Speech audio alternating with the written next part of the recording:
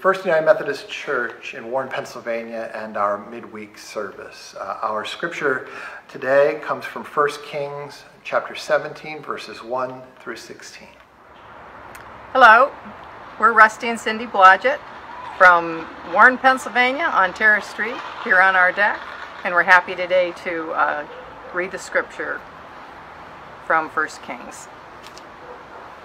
Now Elijah the Tishbite from Tishbe in Gilead said to Ahab, As the Lord the God of Israel lives, whom I serve, there will be neither dew nor rain in the next few years except at my word. Then the word of the Lord came to Elijah Leave here, turn eastward, and hide in the Kerith ravine, east of the Jordan. You will drink from the brook, and I have ordered the ravens to feed you there. So he did what the Lord had told him. He went to the Kerith ravine, east of the Jordan, and stayed there.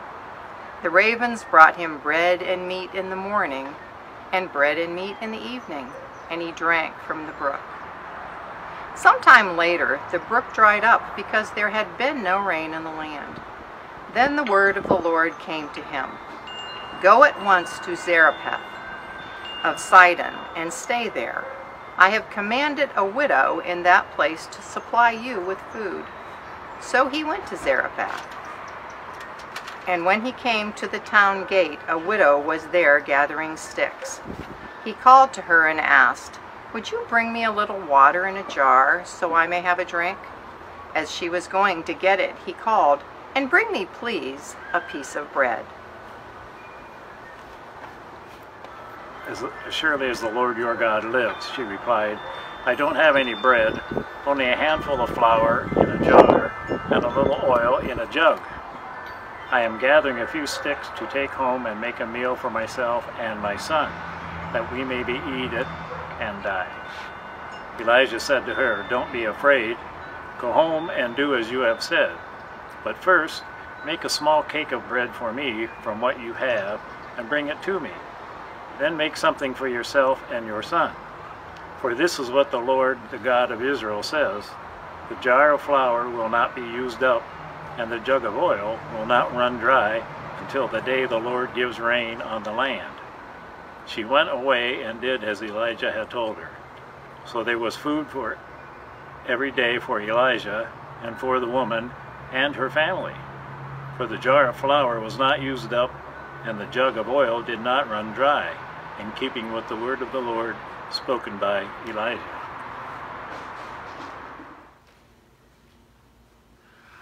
I grew up near Lakemont Park in Altoona, Pennsylvania. Uh, Lakemont was an early 20th century trolley park. Uh, what you need to know about Lakemont is that it is home to the oldest operating wooden roller coaster in the world. It's called the Leap the Dips, and when it was built in 1902, it was advertised as an amazing thrill ride that rises an impressive 42 feet into the air with drops of almost 9 feet, an average speed of 10 miles an hour, and a maximum speed of 18 miles an hour. As I grew up and went to Lakemont each summer, this was my idea of a roller coaster.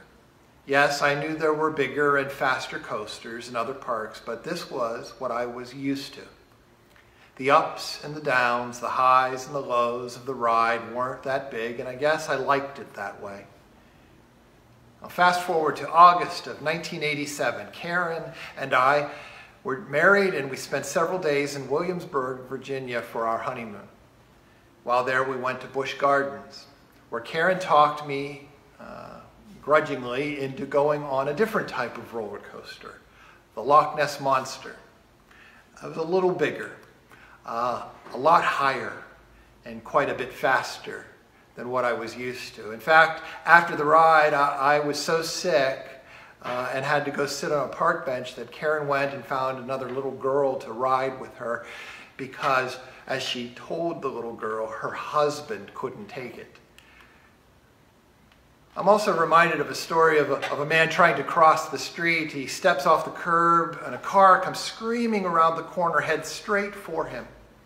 The man walks faster, trying to hurry across the street, but the car changes lanes and is still coming at him. And so the guy turns around and he goes back, but the car changes lanes again and is still coming right at him. And by this time, the car is so close, the man is so scared that he freezes, just freezes, stops cold in the middle of the road. The car gets really close, swerves at the last possible moment, screeches to a halt right next to him. Well, the driver rolls down his window Lo and behold, the driver of the car is a squirrel. And the squirrel says to the man, See, it's not as easy as it looks, is it? See, life is hard. Dealing with the challenges of everyday life isn't always easy, is it? Many of us learned that the hard way. There have been a lot of difficulties as of late navigating the challenges of the last few months. And we've learned that life isn't always easy. Uh, sometimes it's an illness, a disease. Sometimes it's a family member that's in trouble. Sometimes it is that life just isn't working out the way we had hoped.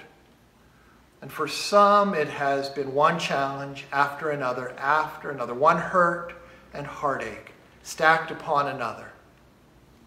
In our own way, we, we thought we knew what a roller coaster was, only to find ourselves seated on a much rougher ride with no idea when it might end. It makes me wonder sometimes if, in fact, it is possible to deal with the roller coaster ride that we call life. And if so, how?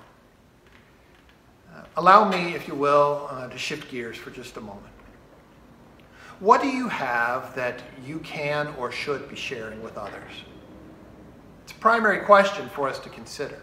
A secondary question is why is it that we should share anything in the first place? But before we answer the first, I'd like to look at the second. I mentioned Lakemont. That park uh, had a pavilion picnic area where groups would have their annual summer picnics each year church picnics, company picnics, and so forth. And of course, when, when we were kids, spending a hot summer day at the park, we liked to fill up water balloons and have those battles.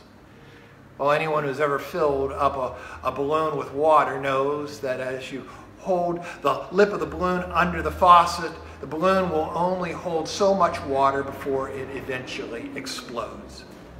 Similarly, a, a brown paper grocery bag is designed to hold and carry groceries, but if you keep putting too many items or things that are too heavy into it, sooner or later, it rips apart. In a very real sense, I believe it is possible for our lives to be ripped apart if we are only receivers and takers in this world and not givers and sharers also. But the world is filled with selfish, greedy people, you say. And you're right. For every person who, who gives you a wave when you let them merge in traffic, there is one who offers another hand gesture because you didn't do it fast enough. We all know selfish people that just look out for themselves and don't seem to care so much for anyone else. And the sad reality is that we will always have those people in our midst. No, their economic lives may not come to ruin simply because of their greed, and no, their social lives may not be destroyed because of their uncaring attitudes and rudeness. But spiritually, spiritually, such persons do run the risk of coming to ruin, of ripping apart at the seams like the overstuffed grocery bag. And the spiritually bankrupt man is, is more to be pitied than the financially bankrupt in the eyes of the Lord. Think, if you will, about those persons in your life that helped to shape your faith. What is it that you remember about them?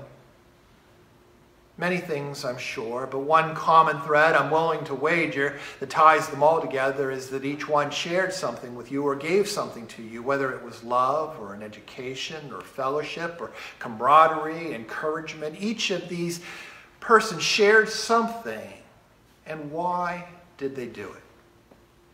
Well, likely because someone else had done the same for them. Why is it that we share with others? Because someone has first shared with us. Why is it that we love others? Because someone has first loved us. The story from 1 Kings about Elijah and the widow of Zarephath is a wonderful example of what it means to give. And what happens, in fact, when we give of ourselves. A widow lives with her son. They are very poor and, in fact, have only a little bit of meal in a jar and a tiny bit of oil in a jug. They are so poor and hungry that she indicates that she is preparing to die. Yet Elijah tells her to give him something first, to share what little she has, and God will provide for her. And she does as he tells her to do, and lo and behold, the jar of meal and the jug of oil never go empty. There is enough for her and her household to eat for many, many days. The point of the story is that in sharing, we find a reward, but not exactly the way you might think. The story is not saying that if, if you have $1,000 and give it away, that you'll receive it back and so much more with it. Nor is it saying that simply because we take the time to do nice things for others, that they will repay us with interest. What I think it is saying is that in giving of ourselves to others, even in times of challenge, if we do it in faith, that we are doing what God wants us to be doing, we will be blessed by it. Even when the roller coaster of life is pulling us down and taking us to a place where we do not wish to go, we need to have faith and trust. Haven't you ever done something nice for someone, reached out in love to another, not because you felt you had to, but because you wanted to? And how did it make you feel? Pretty good, didn't it? That's what I'm talking about. When we give of ourselves out of love, we are doing so because that love has ultimately come from God above. Jesus Christ shared his life and love with the disciples and those that followed, and they in turn shared it with still others, and they in turn have shared it down through the ages. I am here today because of parents and teachers and friends who have shared that very same love with me. And you know, they, they didn't do this only in good times. They shared their life's trials and tribulations as well. They shared their experiences, good and bad. They witnessed to me what it was like to be a person of faith while dealing with life and its tough issues, with job loss and illness and death, you name it. I saw them travel the highs and lows of life. And I share my life and my faith with others now, not because someone makes me, but because I need to. One cannot continue to really experience the love of other Christians and do nothing. If, if I did that, I would burst, just like the overfilled water balloon. We share and give because as Christians we must. Now remember that first question I asked. What do you have that you can or should be sharing with others? The answer to that could be many things your time, your love, your interest, your concern, your finances, your ideas. But, but I, I can think of only one answer that encompasses all of these and so many more, and that is your faith. Somewhere along the line, someone shared their faith in a risen, loving Savior with you. You are called to share it with others. And one last thing that I would like to mention about roller coasters, whether it is a relatively calm ride or a ridiculously scary one. The ride is more fun when someone else is alongside of you. Ever been to those uh, amusement parks? They take pictures uh, of you as you're on the ride and they sell them to you as you, as you get off. And I, I doubt that they, they sell many to the people who ride alone. Almost always it is with a friend by their side enjoying the ride. When was the last time you invited another, a friend or a family member, along with you? I'm not talking about necessarily to church, but, but when was the last time you invited another into your life to share your trial or your challenge? When was the last time you invited another into your life because you suspected they were having a rough time and needed help, and you wanted to help them through it? When was the last time you invited a friend to come with you to share your life in Christ with them because you knew it helped you enjoy the high points of life even more and deal with the lows in a better way and with a proper attitude? This last weekend, we celebrated Memorial Day, a time to remember those who served and died in defense of freedom in this land. But Memorial Day has also become an opportunity to remember all those who have gone before us, those who lived life and shared life, those who enjoyed the highs and dealt with the lows, celebrated the joys and dealt with the challenges. If the lives of those saints lived have shown us anything, it is that knowing Jesus and growing in his love is the most precious and valuable gift we can ever receive. And if we receive, we must also share. And remember the story from 1 Kings when we share what we have, we are even greater blessed. Will you pray with me? Gracious and loving God, we thank you for life's joys and even life's challenges and ask that you would give us a sense of peace and a sense of urgency. Peace as we receive your love and an urgency to share it with others. Amen.